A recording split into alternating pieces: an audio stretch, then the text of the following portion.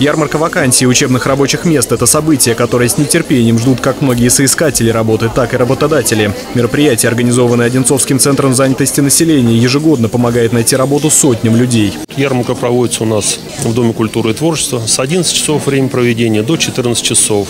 Мы планируем, что за сегодняшний день ярмарку посетят в среднем, как это было в мае месяце, от 350 до 450 человек. Наиболее востребованными оказались технические профессии – уборщики, кассиры, операторы колл-центров. Это те профессии, актуальность которых возрастает с каждым годом. Меня пригласили в компанию Дорхан на собеседование и пригласили в компанию Водоканал. Вот.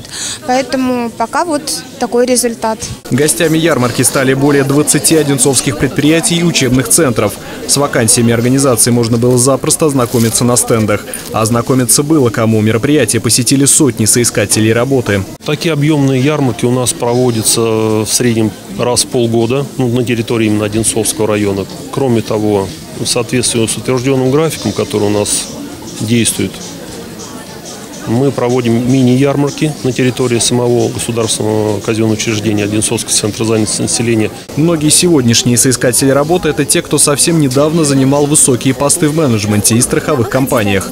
Причины сокращений и закрытия предприятий кроются в экономическом кризисе. На компании сокращение произошло, поэтому э, пришлось стать э, в центр занятости на учет.